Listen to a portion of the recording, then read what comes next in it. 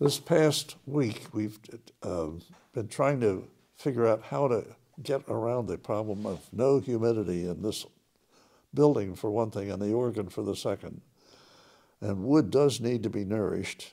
So what we were doing was taking boards down and putting individual actions on the underside of everything that will open up when the air pressure is down to let the blower send us moisture through it and the airlines internally into the instrument to try and nourish the wood a bit again.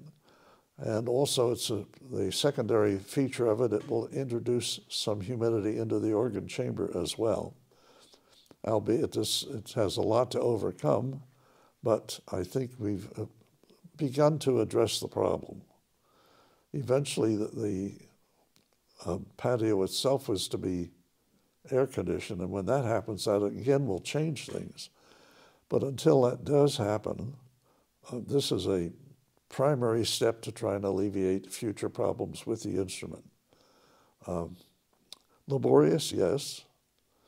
Uh, what it has allowed us to do in taking things down is to re-examine some of the workmanship that we've used over the last five years and in a few cases have made some changes in it, but that mechanically I think are an improvement.